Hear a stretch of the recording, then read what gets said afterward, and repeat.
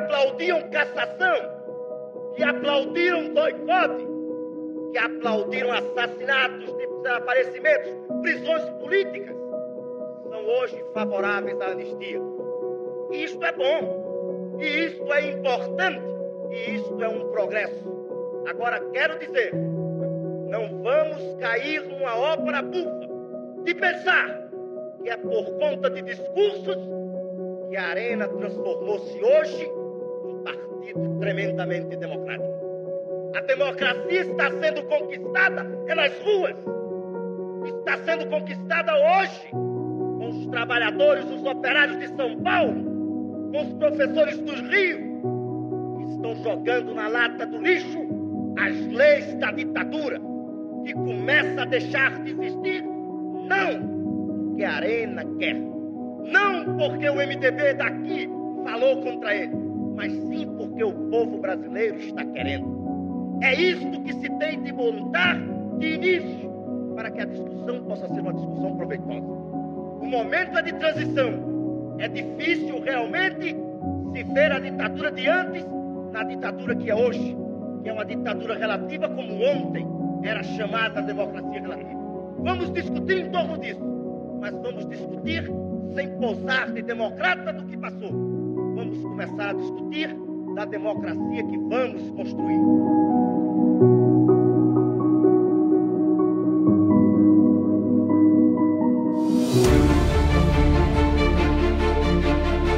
O Cidadão.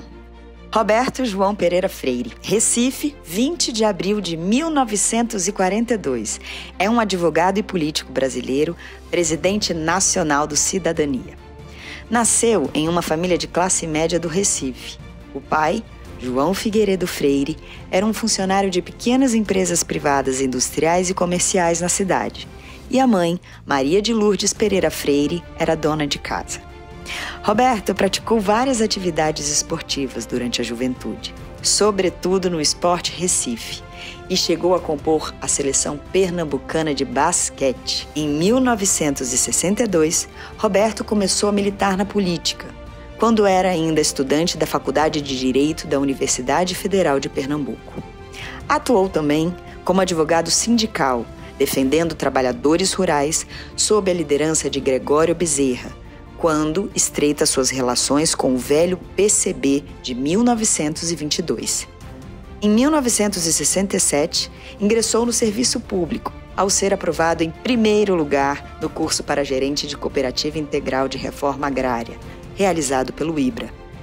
Posteriormente, foi aprovado em concurso interno de ascensão funcional para o cargo de procurador autárquico do IBRA, Instituto Brasileiro de Reforma Agrária, atual INCRA. Atualmente é procurador aposentado do INCRA. Você pode discordar das ideias, mas não pode impedir que elas existam. Participou pela primeira vez de uma eleição em 1972.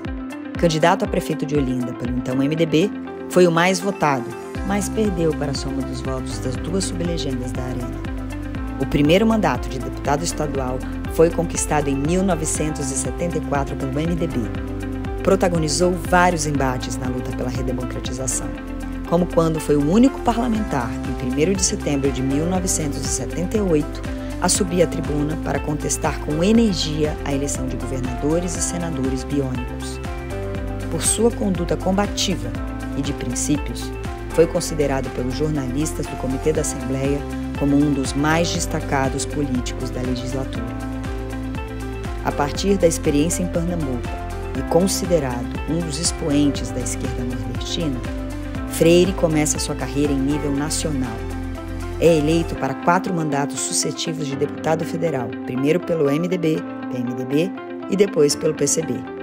Em 1994, elege-se senador e, em 2002, volta à Câmara para o seu quinto mandato como deputado federal. Ao longo de sua vida pública, Freire destacou-se na luta pelo fim da ditadura e pela retomada da democracia, sempre defendendo amplas alianças políticas e criticando os segmentos da esquerda menos favoráveis a acordos e composições com setores da direita política.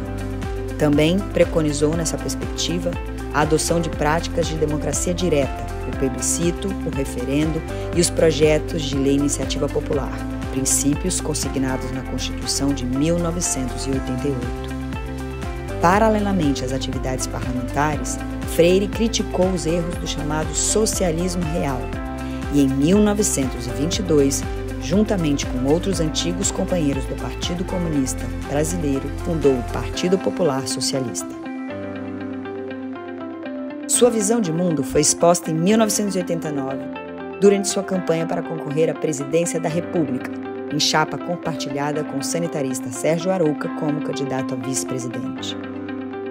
Após quatro anos afastado das atividades parlamentares, Roberto foi eleito em 2010 como deputado federal por São Paulo com mais de 120 mil votos. Retomou a Câmara em 20 de março de 2015 na vaga deixada por Rodrigo Garcia, nomeado secretário de Habitação do Estado de São Paulo. Em 18 de novembro de 2016, foi anunciado como novo ministro da Cultura, após a renúncia de Marcelo Caleiro.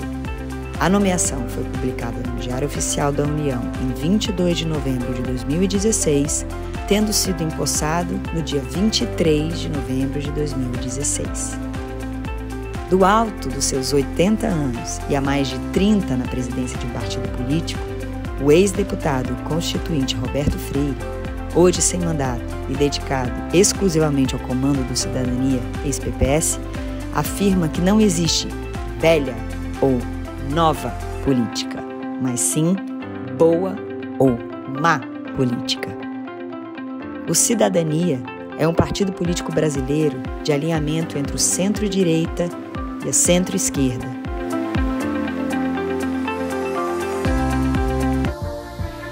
Temos toda a nossa história vinculada ao movimento comunista internacional, defendíamos ditadura do proletariado, aprendemos na prática, na vivência, aqui no Brasil, lutando contra uma ditadura que torturava, matava, exilava cidadãos brasileiros.